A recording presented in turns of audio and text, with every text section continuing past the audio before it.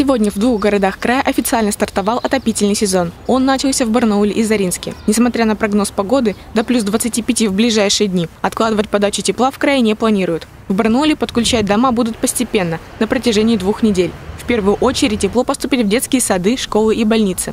Напомним, Теперь запуск отопления носит заявительный характер, и потому тепло могут дать раньше или позже назначенного срока.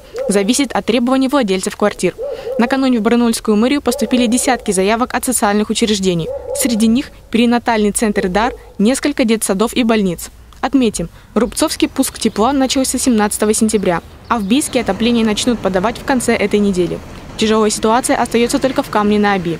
Из-за нехватки угля там действует режим чрезвычайной ситуации – но в ближайшее время в город планируют направить дополнительные средства и создать в нем новое теплоснабжающее предприятие.